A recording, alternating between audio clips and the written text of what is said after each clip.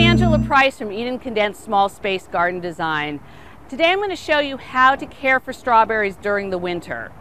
Now strawberries are hardy uh, up until about 15 or 20 degrees Fahrenheit. So if your environment doesn't get that cold during the winter, I happen to live in Southern California and we very rarely get below freezing then there, there really isn't anything you need to do. But if you're in a climate where you do get hard frosts, if it does snow, um, or if it just gets, you have some days where it does get below 20 degrees, then it's important that you take some steps to care for your strawberry plants so that they will come back in the spring and you won't have to throw them out. So this is a uh, hanging uh, strawberry plant that's sort of come to the end of the season. Um, if you see, there's some of them are a little bit dried out and a little bit old. So there's a couple of preventative things that you need to do. First of all, take out any strawberry plants here that are really dried out and look, you know, kind of dead. Also clip off all your leaves here that are brown and crunchy because what you want to do is you don't want to get any mold into the planter um, or into the strawberry plants themselves because that'll end up killing them. It'll also infect your soil. So you want to snip off any kind of old fruit.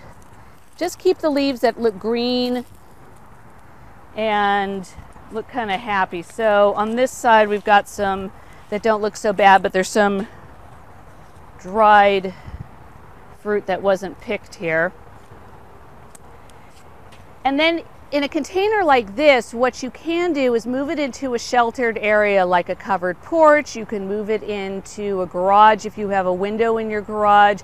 If you are going to leave it out and you do think you're going to have some days that it's going to be below 20 degrees, then you'll want to cover it during those times. Um, this is what's called a row cover. It is a fabric cover you can buy at your nursery center. Um, you can also get these online. And this is that one is actually made for containers. It's actually kind of large, but all you need to do is kind of thread it through here, or you can even take it down and just kind of cover the plants over. Basically what you're doing is you're giving it a blanket and it'll bump up the temperature a little bit inside. If it's going to be windy, you probably want to put a tie around it as well. If you have strawberries in the ground or in flat containers, there are other things that you can do to kind of elevate the temperature during the winter.